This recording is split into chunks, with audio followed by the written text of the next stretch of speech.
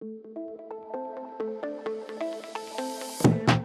Welcome to ActivTrades five factors to start your week. And after a busy few weeks, the last full week of November offers a rather quieter calendar, potentially giving traders and investors the chance to take stock. With this in mind, this week's number one is the release of the Fed's minutes from its November meeting, which will provide greater clarity on where the US central bank sees future interest rate moves heading. Keep an eye on the dollar in reaction to that. Now, at number two, it's the start of the FIFA World Cup in Qatar. Of course, while not strictly an economic event, with millions of people around the world tuning in to see how their team fares, don't be surprised to see lower trading volumes this week. Now, at number three, we have Thursday's insight into the sentiment of the German business sector. With many expecting a winter recession, investors will be keen to see how optimistic the Eurozone's largest economy is. Watch out for the Euro's response there. Now, at number four, there is a load of PMI data coming out on Wednesday. Again, the expectation is for contractions across the board as the realities of persistently high inflation continue to bite.